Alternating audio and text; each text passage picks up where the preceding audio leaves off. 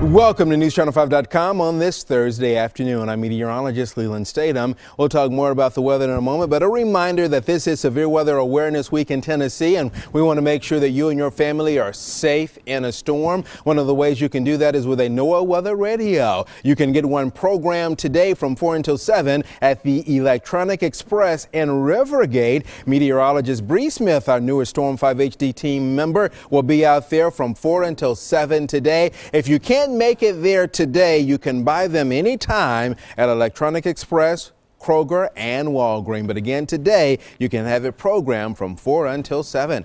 Let's show you what's happening with Exact Track after some showers mixing in with a little winter weather this morning and early afternoon. That's going to gradually pull on out of here. Could still be a few leftover showers for tonight, especially early tonight. Then for tomorrow, cloud cover in the morning. Clouds slowly decreasing as we work our way through the day. Still a bit on the chilly side tomorrow with highs only in the 40s. And then things get better as we work work toward the weekend ahead. But for this afternoon, mid to low 40s around Middle Tennessee and Southern Kentucky. Our southeast wind for the afternoon hours will become more of a north northwest wind a bit later. If you've got evening plans, you'll note by the 7 o'clock hour temps in the lower 40s. We're right around 40 degrees by 9 o'clock. Here is that seven day forecast for tomorrow 49 near 60 on Saturday and then 62 Sunday. I'm meteorologist Lelan Statom. Thank you for stopping by newschannel5.com.